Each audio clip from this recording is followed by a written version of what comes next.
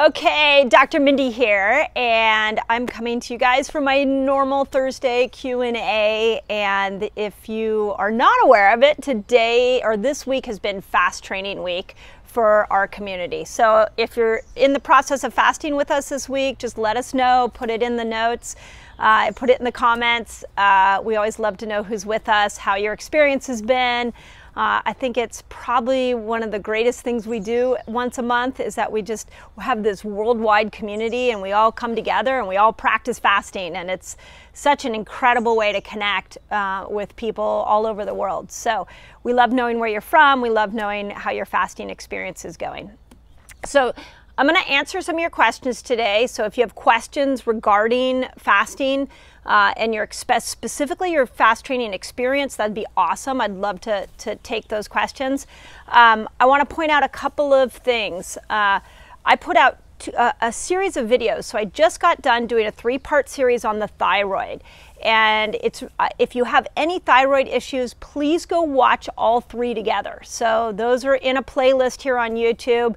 Um, so know that those are there for you. And one of the most interesting things that came out of my research for those videos was that there is evidence showing that the liver, in order to convert T4 into T3, needs to have a certain level of insulin. Now, this is a dilemma for those of us that love to fast because we don't want our insulin to go down too low for too long of a period, or we can start to throw our hormones off. And we've seen this, those of you who've read the menopause reset and you're working on your progesterone levels and estrogen levels have experienced this, that too much fasting can start to tank your hormones. So if that is a new concept for you, please go look at that video that I did on fasting and the thyroid because and dive into that. We always link the science in there. So dive into those into the science and make sure that you're clear on it. And this is why we call it a fasting lifestyle. This, eh, as you learn these principles, we want you to try all different kinds of fasting. But what a lot of people experience is that you guys get to this point where you are in love with how, your results and you don't ever want to come out of those results. So you don't, you just keep fasting, you keep doing one meal a day, and that is a recipe for a breakdown in the body. You are not meant to fast all the time. You're meant to go from feast, famine cycling. So let's go back to the cave person day. Remember, there were times when they had a ton, ton of food. They made a big kill. They would eat for days where they would just eat, eat, eat. And then there were winters, months where they wouldn't have any food. So in the and they had obviously no refrigeration. So the human design has not changed since the cave person day. Like some days that like blows my mind if you stop and you think about it. Like we are literally living in the same body that cave people lived in. Yet in this modern world, it, we couldn't be any more different in, in what the, the environment in which the body is living in.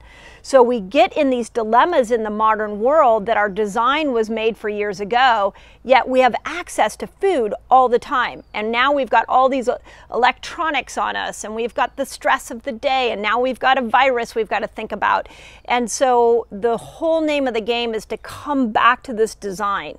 And let's just, we can learn so much by like coming back to how we were designed. And we are not designed to fast all the time, yet fasting is miraculous. So we want to know how to cycle it. And that's what I'm trying to teach you guys here. This is what we are diving in very deep in our Reset Academy with and helping people understand. So if you want deeper understanding, join our academy and, and you'll, you'll see there's a lot more discussion and communication on that topic. So that's the first thing I would say. Second thing, I have a video coming out tomorrow on immune strategies. So I just want one of the things that's going to happen to all of us right now is that we're going to we're getting more, and it may be already happening in your area that more and more people are coming out of the shelter in place and the quarantine time. So there are some really smart things you can do. And again, if I go back to research, there are really four things that we all should be doing, and fasting and different styles of fasting is one of them. So tomorrow I'm going to address the other three things. So stay tuned for that video. Again, I bring you the science.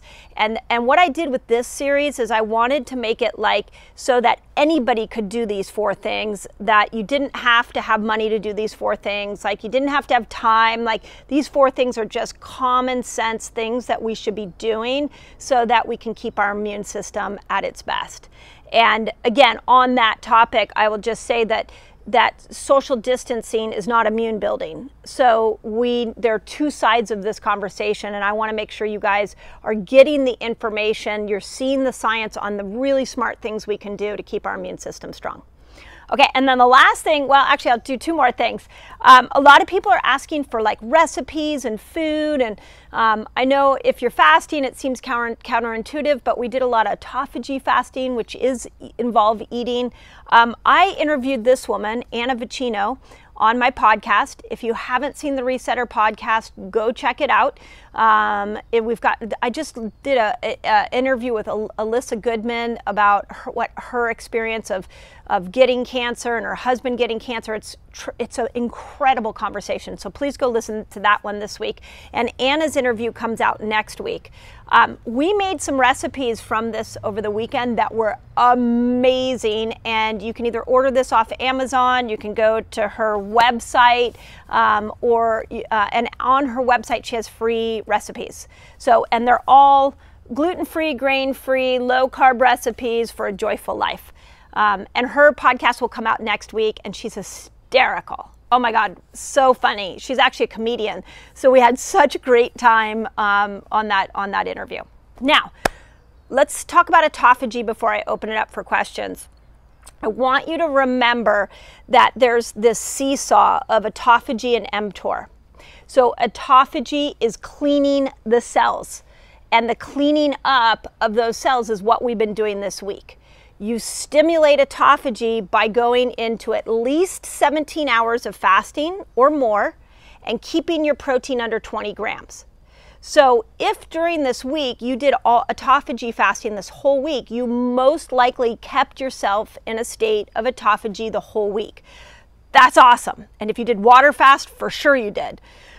Fabulous. You've cleaned up the cells, the cells are repairing.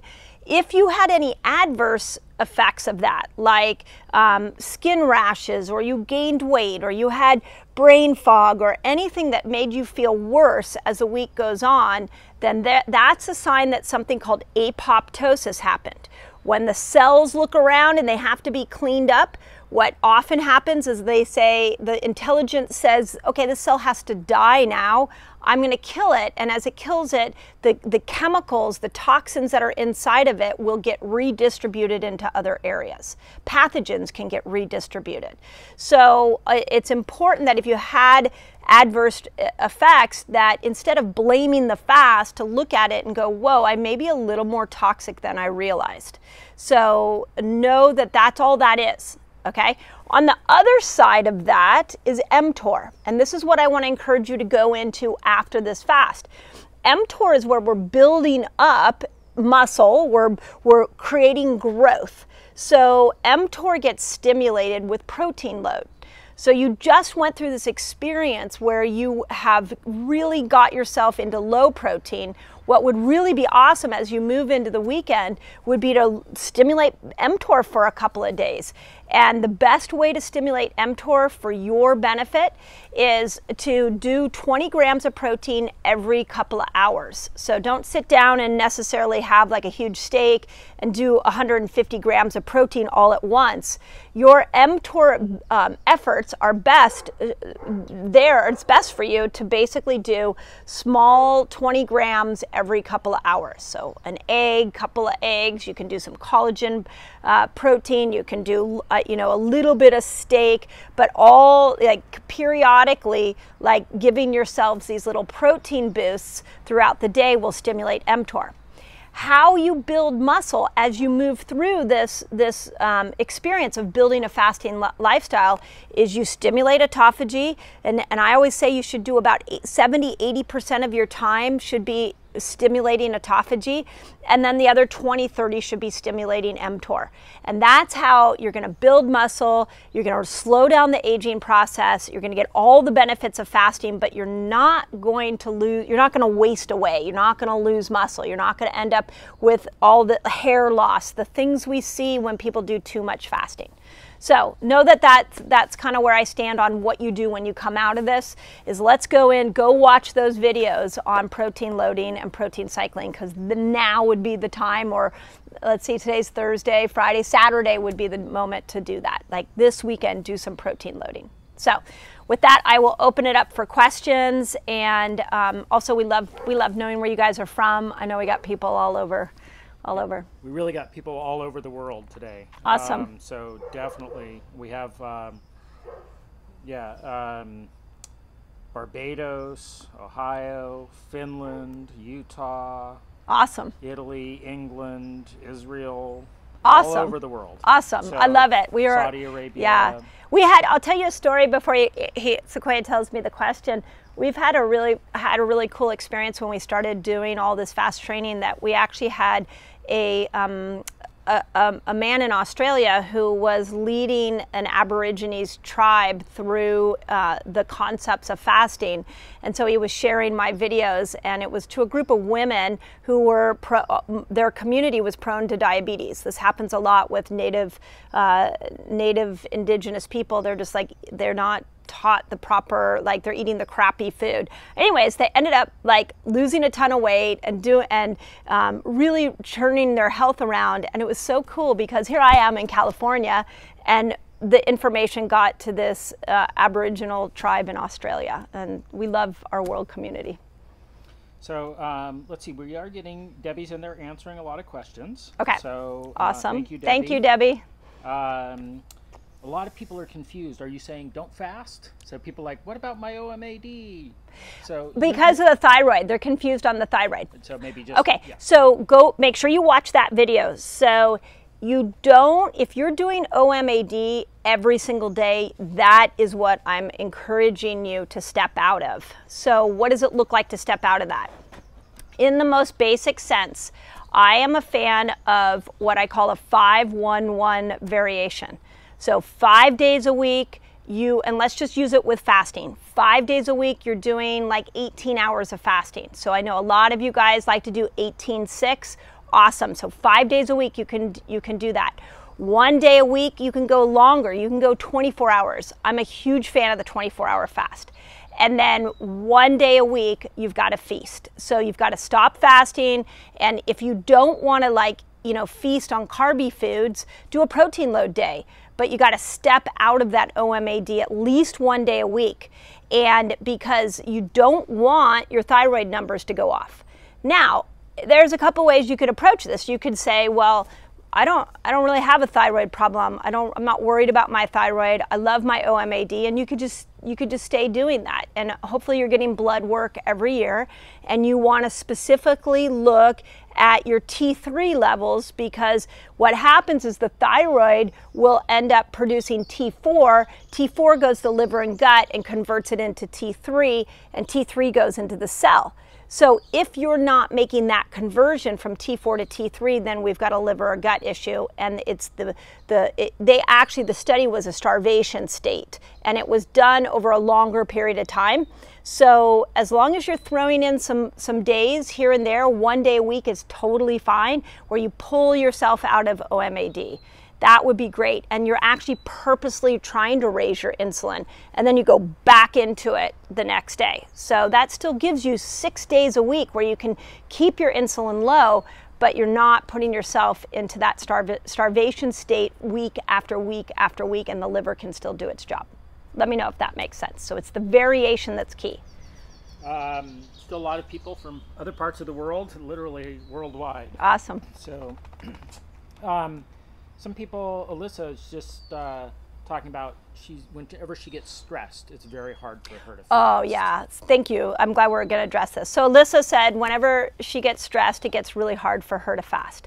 Um, yes. So it's interesting because there's one um, one moment in time that I really encourage people to not to try to go into long fasts, and that's when your stress is the highest.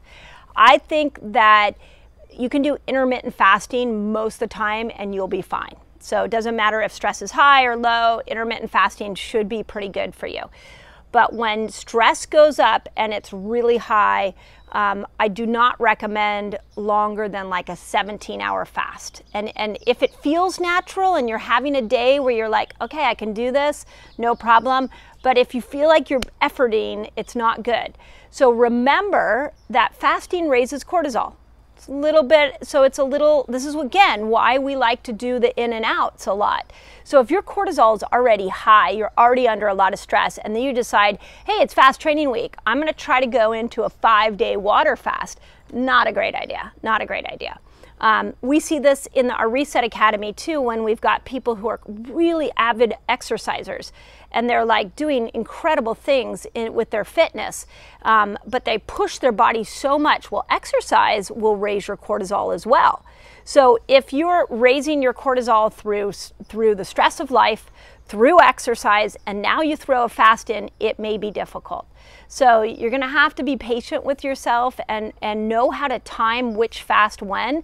Um, and it really is about you know driving your own health and figuring out what is right for you, which is why we lay out seven fasts here.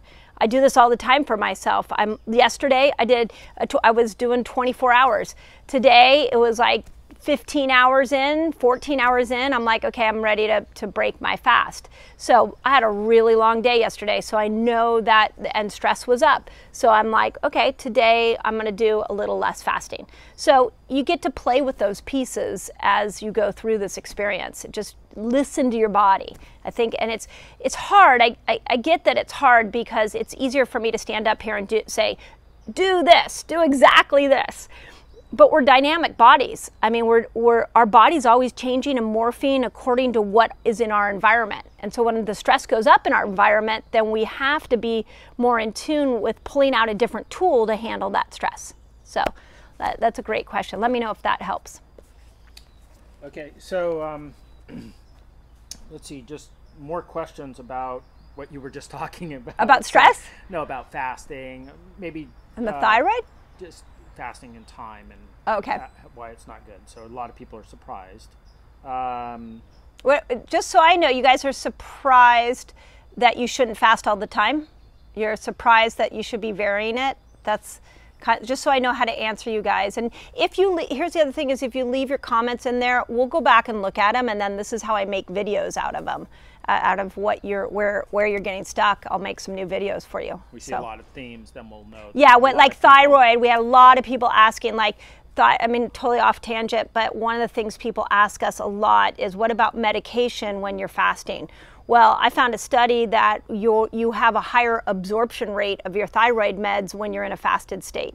So you may react to your medications differently, which is why you should probably involve your doctor in that process. So just keep keep your questions coming, and we'll make sure that you get them answered.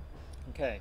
Amanda uh, sort of has a really interesting question. This is good. Okay. Um, they eat very healthy. They're vegan, gluten free. Really watch their uh, oils. Um, but they're sort of have she and her husband are having a little struggle over how to go out and eat when you can't control the bad oils. Ah, how do you? So okay, Amanda wants to know how to go out and eat when you can't control the bad oils. Oh, yeah. I okay. So for starters, I feel your pain, and um, I will tell you that Sequoia and I eat in a lot more the more we study this stuff. And the bad oils are imperative. You'll see on my immune strategy tomorrow, that's one of them is like the right oil, but there's also a, a little caveat to the quantity. So when you go to a restaurant, I think it's um, important to realize that you can ask for a different oil. So a lot of times I will ask like what oil is in the salad dressing, what oil are you cooking it in? And sometimes the easiest substitution is just butter. Butter would be better, even pasteurized butter would be better than canola oil. So I just did an interview with a woman who has a TED talk called uh, How to Get Everything You Want. It was such a fascinating interview. Go check out her, her TED talk. And she said when she goes to a restaurant, what she does is she just sees a bunch of ingredients. She doesn't necessarily see that she has to pick the different uh, recipes that are there. I've never thought of that. And so she's like, when I see the different ingredients, then I know I can make substitutions. So I think you've got to ask and, and see if they can make a substitution of butter um, and, and just ask what oil they're cooking with. I've, I mean, if you put me at a dinner table with a bunch of my holistic docs that we all hang out together, that is, oh my God, that poor waiter, waitress has to go through us all asking different questions but we're so happy and we we're we're you know tip well when they when they give us great service. And so um, yeah so just don't be afraid to ask. And then you'll learn over time which restaurants are the best. Okay. so and oils matter really important. So thank you for caring about that. Okay we've had a few questions now. I saw a few different ones okay. about fruit and keto. Fruit and keto. Now ketobiotic. Yeah yeah. Okay great. I love it. We're getting some some different questions. Okay so fruit and keto. So I've del- I, I'll just pouring from my heart. This is not my head. This is my heart at this moment. I've struggled with where does fruit fit in for me because I love fruit. And yet, how do you keep in keto when you don't have when you want to have fruit? So the first thing to ask yourself is are you trying to stay in ketosis? If you're trying to stay into, into ketosis, remember that there's two ways to get into ketos, ketosis. You can fast and you can manipulate your macros. So when summer comes and I have more fruit, like my favorite food actually on the whole planet is a white nectarine. So if I want to eat a bunch of white nectarines, I'm either going to put that on a feast day. This is why I like the 511 because when I on, on one day a week I feast. So I'll either put it there or what I'll do is maybe on a day where I'm just having one meal a day, I'm in ketosis the majority of the day, and then I'll have fruit at night for my dinner. Now, if you're trying to lose weight, it's really has to do with what you're trying to do with your health. But if you're trying to lose weight, um, you could stay to the lower glycemic fruits. And those typically are the berries and something like a green apple. The minute you go into tropical fruits, you're really now spiking your blood sugar up. The only time I recommend somebody go into that is if we're trying to raise progesterone. So the, the, the type of fruit matters. And I, having said all of that, I will tell you since I've been doing keto for the last five plus years, I don't, I don't eat as much fruit as I used to eat. But I also don't want to miss out on some of the amazing things that nature has provided for you. So. Okay. Uh, I'm just going to ask this one again because uh, it, it keeps like coming talk, up. It comes up every time, and I think we, it is important to repeat. Um, fasting when you're breastfeeding. I knew you were going to say that. pregnant. I knew. This is uh, the same woman uh, okay. that asked uh, Amanda that just asked that question. Okay. Uh, her child is already at 15 months.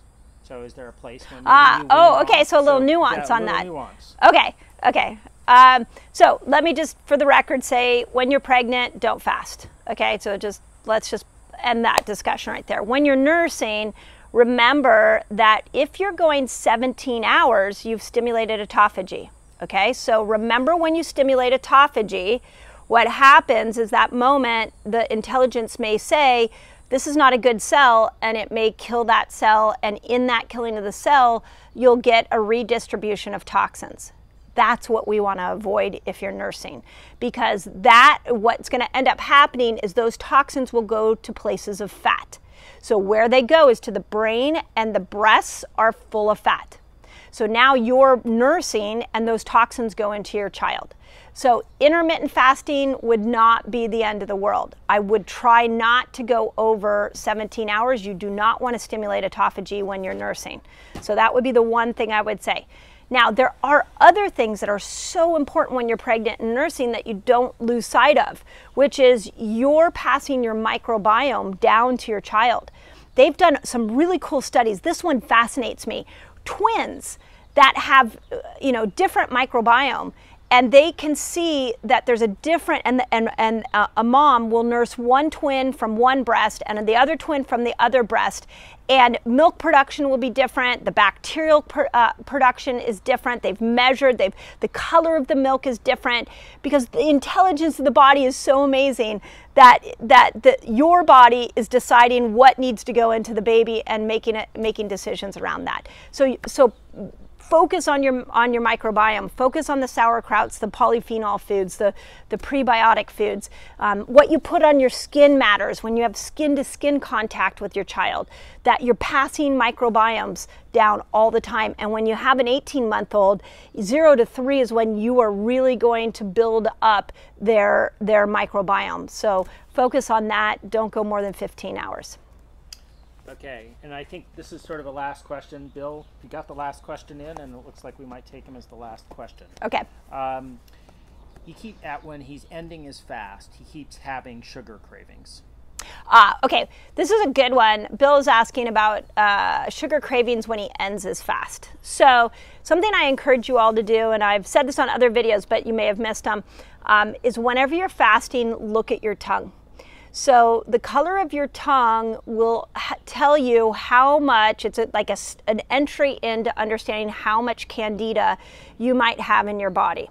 So when we fast, especially if we're doing water fasting, at that 24 hour mark, you reboot your intestinal stem cells. Those intestinal stem cells will, will make your gut an, an inhospitable place for bacteria, and, and things like SIBO and Candida to live, and there will be a die off. So if your tongue is white, if your tongue is yellow, I've seen people's tongues black, then you're getting a die off of Candida.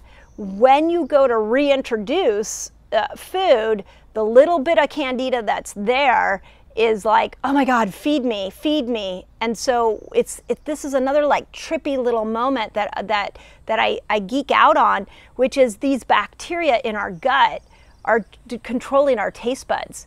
So then you think it's because you're not disciplined, but it's not that you're not disciplined. It's that there's bact- a bacterial need in the gut that is telling you what to taste. So what you can do is start in between your fast, do more candida killing we have a good protocol on our on drmindypelz.com so you can go to our webpage and just type in candida into the um, search engine or the search bar and it'll show you there's a 60 day protocol there. You can do a gut zoomer which is a test that we uh, do on our patients. You can get that off my website and we'll you can test and see if you have candida.